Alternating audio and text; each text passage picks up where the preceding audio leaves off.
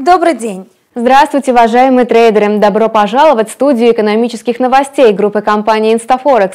Свежие новости для вас представляем мы, Анна Касаткина и Екатерина Стихина. Вы смотрите обзор валютного и сырьевого рынков за прошедшую неделю.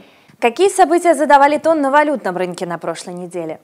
В пятницу доллар США подешевел против корзины основных валют. И по какой причине возникли такие торговые настроения? Настроение инвесторов ухудшилось э, по причине слабых отчетов о строительстве жилья и потребительской уверенности в США, так как это понизило вероятность дальнейшего ужесточения ставок ФРС. В четверг курс доллара США вырос до двухнедельного максимума после того, как ФРС США объявила об ожидаемом решении повысить ключевую процентную ставку и подтвердила намерение провести еще одно ужесточение до конца года. За неделю индекс доллара США просел почти на одну десятую процента. Слабые экономические отчеты оказали давление на доллар США. Пятничные данные показали, что число новостроек в США сократилось сократилась в мае третий месяц подряд до минимального уровня за 8 месяцев. Охлаждение в строительном секторе США может замедлить экономический рост во втором квартале текущего года. В отдельном отчете от Университета Мичигана говорится, что потребительская уверенность в США понизилась до 94,5 пунктов в июне против 97,1 пункта в мае. Экономисты прогнозировали, что индекс останется на отметке 97,1, как и в мае. Котировки японской иены немного изменились во время торгов с повышенной волатильностью, после того, как Банк Японии решил оставить процентные ставки на прежнем уровне.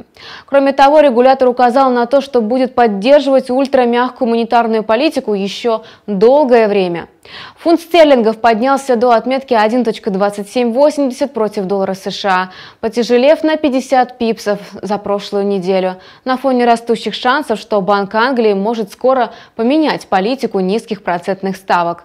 На заседании три чиновника Комитета по монетарной политике проголосовали за повышение процентных ставок. Евро получил поддержку после того, как Международный валютный фонд и министры финансов из 19 стран еврозоны утвердили транш для Греции в объеме объеме 6,5 миллиардов евро, чтобы предотвратить в стране дефолт в июле и новый долговой кризис. Валютная пара евро-доллар почти не поменяла динамику на прошлой неделе. Вот и все, что я хотела рассказать о текущих трендах на валютном рынке. Анна, а кто доминировал на товарном рынке? Медведи или быки? На этот раз медведи доказали свое превосходство. И что же способствовало распродажам? Данные, показывающие подъем нефтедобычи в США и слабый внутренний спрос на бензин, оказывали давление на цены. Цены на нефть совершили отскок в пятницу, после того, как упали до минимального уровня за 2017 год. Тем не менее, нефть завершила торговую неделю с потерями. Фьючерсы на поставку нефти сорта Brent в августе подорожали на 45 центов до 74 долларов 37 центов за баррель на фьючерсной бирже в Лондоне.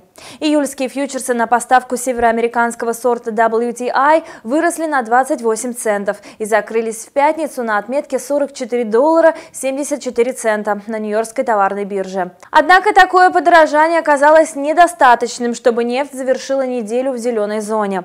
Цена на нефть сорта WTI просела на 2,4%, в то время как цена на нефть сорта Brent потеряла 1,6%. Североамериканская нефть продолжила самую длинную череду недельных потерь с августа 2015 года. Тем временем золото резко выросло в цене в пятницу после трехнедельного минимума, отмеченного днем ранее. Тем не менее, заявление ФРС США еще об одном повышении ставок до конца года отправили золото на понижение вторую неделю подряд. В пятницу фьючерсы на поставки золота в августе торговались по цене 1256 долларов 50 центов за тройскую унцию. В четверг драгметалл закрылся на самом низком уровне с 24 мая мая. За неделю золото подешевело на 1,2%. Анна, большое спасибо за обзор товарных рынков. Вы смотрели еженедельный обзор валютного и товарного рынков, которые вам представили мы, Анна Касат и Екатерина Стихина. Удачного вам дня. До свидания.